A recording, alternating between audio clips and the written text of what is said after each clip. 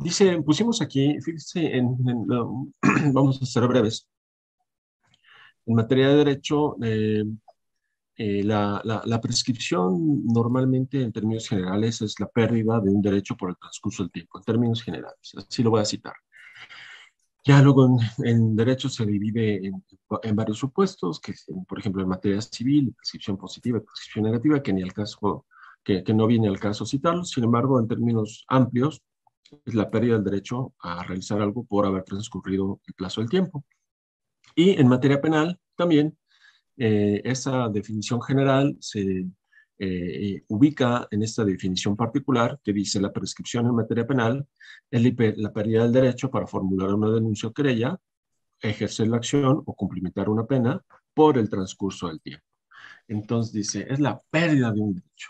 El, Código Fiscal de la Federación y, todos los códigos nacionales, por ejemplo, eh, perdón, el Código Nacional y, todos los códigos estatales regulan siempre esta figura de la prescripción. ¿Por qué? Pues porque el delito no puede permanecer eternamente eh, vigente, no puede permanecer las consecuencias que del mismo se deriven eternamente eh, presentes, sino en aras de otorgar seguridad jurídica a las personas tiene que haber un plazo dentro del cual eh, puede llegar a concluirse que quien tenía la posibilidad de ejercer una acción, pues ya no tuvo el interés de hacerlo y ante ese supuesto, pues la persona en contra de cual se podía haber ejercido se encuentra liberada.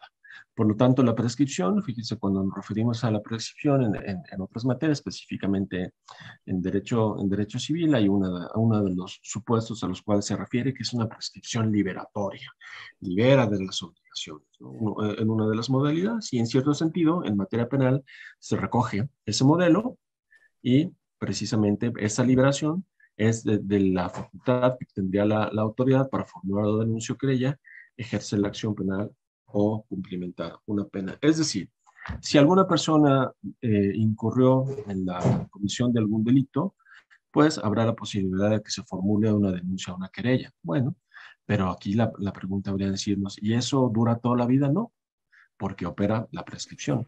Bueno, ya una vez que se formuló la querella, eh, el Ministerio Público puede tener ahí eternamente nuestra denuncia, que imaginemos que se hubiera denunciado a nuestra empresa, el, Ministerio Público la podrá tener ahí eternamente, pues no, tampoco. Hay plazos dentro del mismo código eh, eh, que establecen la temporada en la cual puede estar vigente.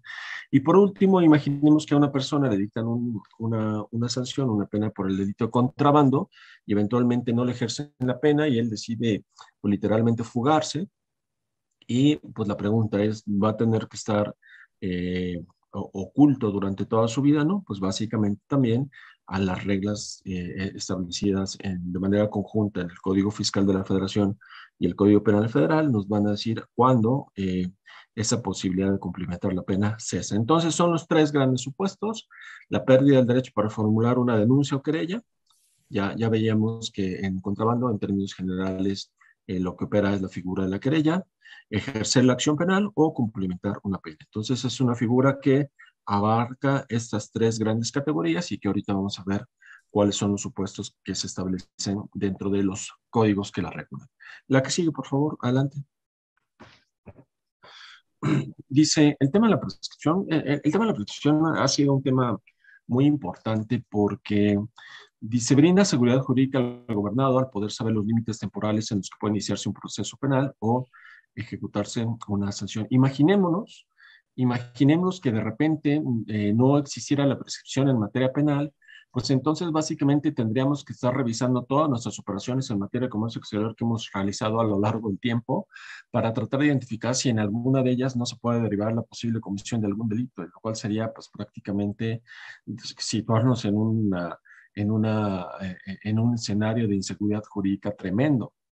Pero eh, como la, prescripción eh, interrumpe la, posibilidad de actuar por parte de la autoridad, se considera que nos brinda esa seguridad jurídica. Es decir, ¿sabes qué? Más allá de este tiempo, más allá del tiempo establecido dentro de la ley, ya no vamos a poder actuar aún y, cuando eventualmente se hubiera cometido un delito. El tema de que opere la prescripción, por ejemplo, antes de que se formule una querella, antes de que se eh, inicie un proceso penal o antes de que se ejecute una sanción, no significa que el delito no se cometió, no significa que no se pueda, no se pudo haber iniciado la acción ante un juez, o no significa que la, la, la, sanción no existió, no, sí existieron, sin embargo, como no se cumplimentaron, como no se ejecutaron ah, eh, dentro de los plazos establece, que establece la ley, pues pierden su eficacia. ¿okay? La siguiente, por favor.